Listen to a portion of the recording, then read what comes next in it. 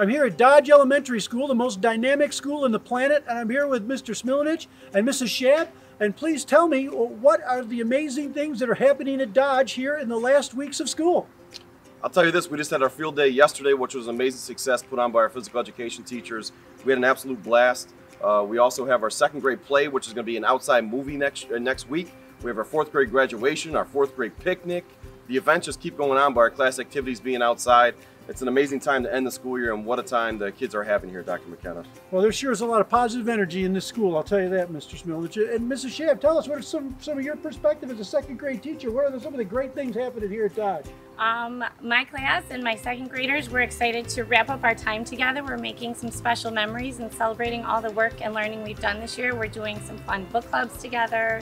Kids are writing about our special moments we've shared. We're preparing to present our second grade play next week to families and celebrate that work together. And we're just making a few more memories before our time together is done. Well, I just had a chance to visit your class in there too, and there is a dynamic energy in her class. I can tell you that for sure.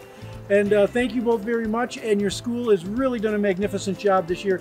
Uh, I, I, thank you. I thank your, your, your, students, your staff, your parents, everyone. What, what a great year. Thank you both for all your efforts. And I'll tell you, Dr. McKenna, on behalf of everyone here, we couldn't have done this year without you. So thank you from the bottom of my heart from all the Dodgers here, the families, uh, the community, and the teachers and staff. Thank you so much for doing what you did this year. You got us through a very difficult time. So thank you, sir. Thank you, Mr. Smith. Appreciate it. Join me, loud and proud. Who are we? Yeah!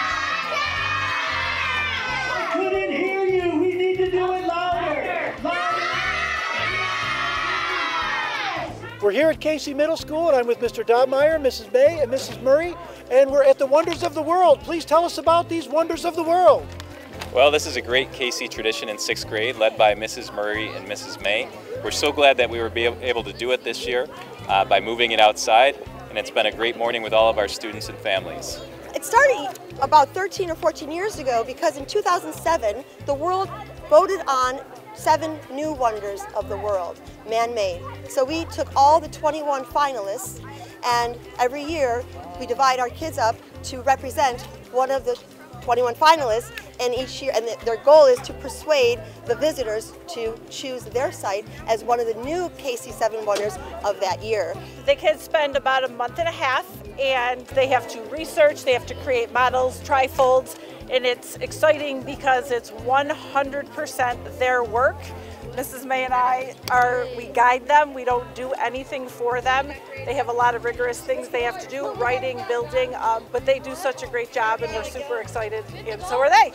They actually get screen projectors and they actually project these little cool designs on the, uh, the shells here and it took over 10,000 construction workers, and it still took 14 years to build. Stonehenge was made during the Neolithic time. It was precisely aligned to see the sunset and sundown to see when days, months, and years ended. Um, I've actually been to Stonehenge, really? and I thought that it was so, there's so many wonders about it, and I love researching like mysterious cool. things. Yeah, it's like kind of a mystery, right? So that's what I loved about it. Petra was established in 312 BC. This would make it one of the oldest cities in the world. The city of Petra comes from the name rock in Greek. It is most commonly known to the people as the lost city of wonder. This is truly a, a wonderful experience. We appreciate all the time and effort it oh, took to put this in. I know that I learned a lot today too, so thank you and your students very much. Thank you. I'm here at North High School with Mark Percy, the director of our planetarium. We're very fortunate in Williamsville to have this amazing planetarium. And Mark uh, made, got some amazing pictures that he took of the partial eclipse uh, here that we just had in, in, Western New York recently. And Mark, why don't you tell us about the pictures that you took and the big event that's coming up in 2024? All right, so it's sunrise on Thursday. We had uh, just as the sun rose, about 80% of the sun was covered by the moon. And um, there's different methods to view an eclipse. You've probably seen these glasses that people use that, that make it safe to view the sun. Um, but what I was using was this device here called a sun funnel. This is actually the telescope's eyepiece, but it's been fitted with an automotive funnel and a piece of rear projection screen from the theater.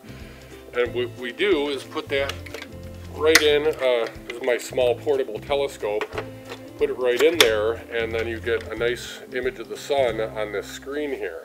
It's nice and safe because the focal point where the light's concentrated and could really hurt somebody is inside the funnel. Well, why don't you tell us about the big event that's going to be coming up uh, in 2024? Well, we are in very, very good circumstances. On April 8th, 2024, the full shadow of the moon is going to pass right over Buffalo. We are going to have a total solar eclipse on April 8th. And at the totality where the sun is completely covered by the moon, exposing the corona, beautiful streamers of light that come out from the sun.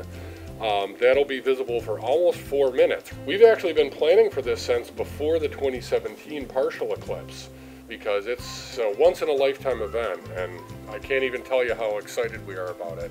Well, thank you so much for, for uh, those explanations and for all the great work that you do here. We are so fortunate to have the planetarium and um, all the work that you do here to teach our kids to integrate this into their everyday learning. It means a lot and we really appreciate all your efforts. Thank you, Mark. Oh, my pleasure, truly.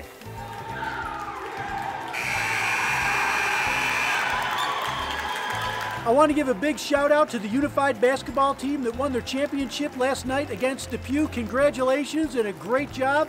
And I want to wish everybody a fantastic weekend.